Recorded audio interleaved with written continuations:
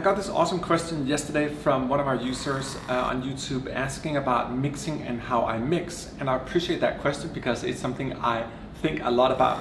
Um, I have sort of three small answers I want to give you. Um, mixing for me is all philosophical. It's not really a technical thing, even though we can get into that as well. Um, but there's sort of three overarching principles I go by.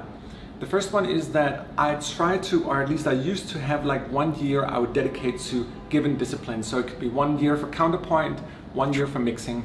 And back in 2007, back with Tomb Raider and stuff, um, it was all about for me to learn mixing. So I focused on mixing and learning to fix it in the mix. I became familiar with this old studio term called fixing in the mix. And for me, that was sort of the first realization. You fix it in the mix. You fix it while you make the music. You don't wait till later on with mastering and all that.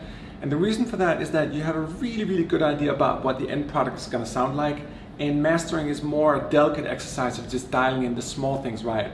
But if you sort of wait and you're like, oh my God, I just need to get this out and I'm gonna wait till mastering, then you know you might be working in darkness or in the void. And I personally believe that fixing in the mix is the right way to go if you're looking for that higher quality type of scoring. So you know, fixing in the mix, it's kind of like making a dish and you're using all the ingredients in real time and you're not cheating with salt and pepper in the end. You know the deal.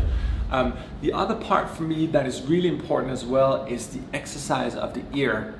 Uh, for me, sometimes I find my intellect is sort of battling my intuition.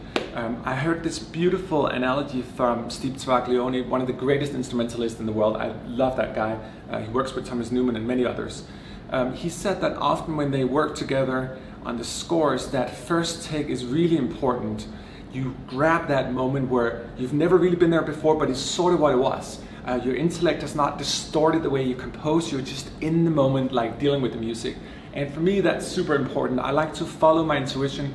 I like to let my ear guide me more than my intellect. Whenever my intellect takes over, it's like, I'm not good enough, I wish I sounded like that. You know, the usual suspects of composer insecurities. But for me, like when I'm in the groove or in the flow, I just use my ear. And that goes for the mix as well. I simply just listen to what sounds good. And granted, it might take some time to get the adjustments right, but um, there's an awesome quote by Max Martin, the great, great pop producer, um, when he mixes, um, every element in the mix needs to stand out in the mix. If it's sort of down and muddy and all that, you remove it because it doesn't belong there. So when you mix, everything needs to have a purpose. Everything needs to sit in that perfect flower formation where all the petals are almost evenly structured and then maybe a little bit of spike here and there so it stands out and you're working on your sound and your personal voice.